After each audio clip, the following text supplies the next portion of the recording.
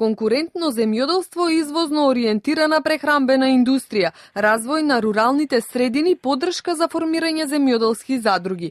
Ова се дел од поставените цели на новата нацрт стратегија за земјоделство и рурален развој, што ќе се имплементира од 2015 до 2020 година. Целите ќе се реализираат преку проекти за модернизација на земјоделско прехрамбениот сектор, подобрување на квалитетот на земјоделските производи и едукација на земјоделците. Очекувањата се дека во иднина ќе има зголемено производство и извоз на земјоделски производи, и зголемување на бруто домашниот производ во земјоделството.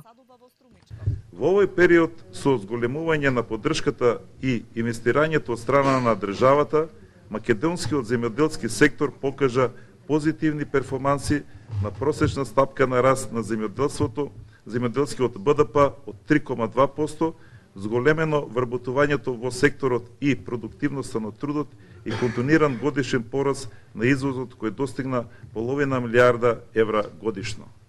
Министерот Цветков нагласи дека се планираат и сериозни инвестиции од страна на државата во изградба на инфраструктурата во руралните средини, а како дел од ова се и 20 милиони евра што годишно ќе се вложуваат за подобрување на водостопанскиот систем. Една од политиките со кои што се започна во изминатиот период, а сериозно ќе се продолжи во следниот е подршка и формирање и на формирањето и функционирањето на земјоделските задруги.